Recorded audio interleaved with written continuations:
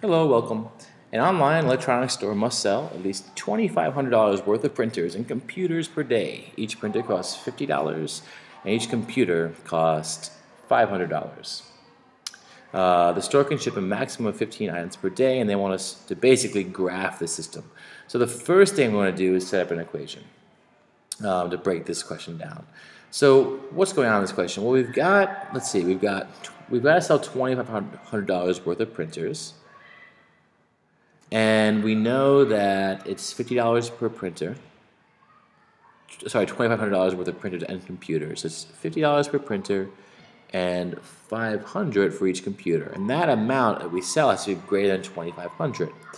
And at most, we can do 15 items per day. So the printers and computers, at most, has to be less. So has most can be 15. So the number of printers and computers is less than or equal to 15. So now we're going to graph these two things.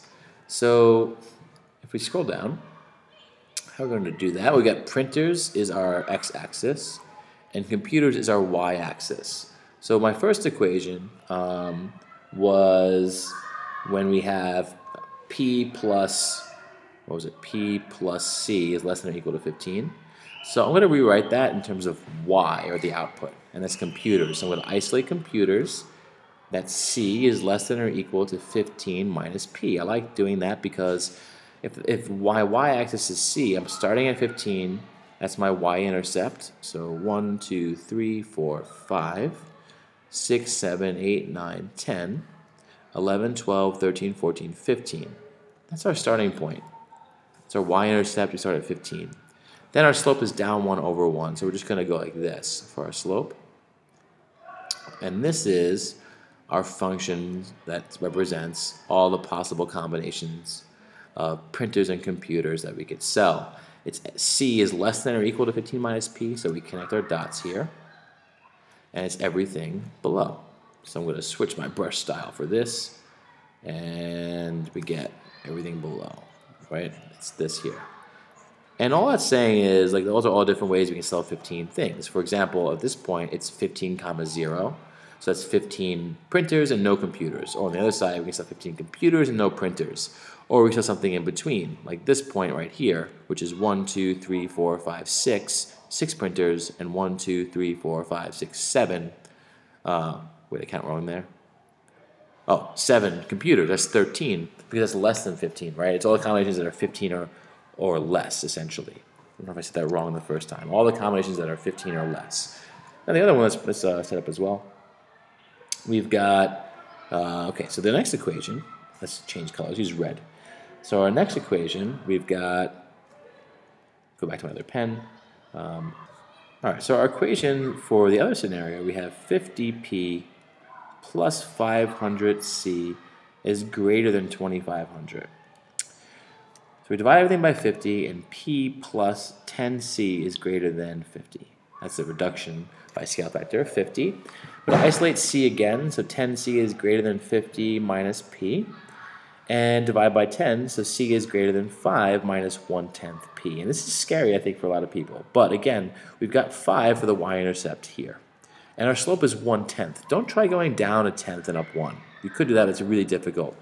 Scale it up. Go down 1 on the y-axis and over 10 on the x-axis. So it's down 1 and then 1, 2, 3, 4, 5. This is 5. 6, 7, 8, 9, 10. Down 1 on the y-axis, over 10 on the x-axis. 1, 2, 3, 4, 5, 6, 7, 8, 9, 10. Right? Let's make sure, I, I should have marked this. 6, 7, 8, 9, 10. 1, 2, 3, 4, 5, 6, 7, 8, 9, 10. This goes to 20. Here's 15. 11, 12, 13, okay. So down 1 and, and up 10 on the x-axis. This is our function here. This time c is everything is greater than this, so we do a dotted line like this. And it sees everything above it. So we shade above, let me switch markers so it looks somewhat good. This is a really hard graph to set up because of the angles here. It just doesn't look very nice. And this is the graph that shows us all the possible combinations that could work. And that would be this region right here. It's the region where our values are below the blue line, or below the uh, total number of printers and computers we could sell. and the amount of money that we need to make as well. So determine a combination of printers and computers that would allow the electronics store to meet all the constraints. Explain how you know you're right. So I'm just going to pick a point in this region that's easy to work with. Any point in the region will do. You pick one that you think is easy to work with. I'm going to pick this point right here. I like that one of the numbers is 0 at this point. So for that point, it's the point 0, comma 10. To explain how I know, I'm going to plug it into both inequalities. And I'm going to say it, it works for both inequalities. That's our first inequality. This is our second inequality.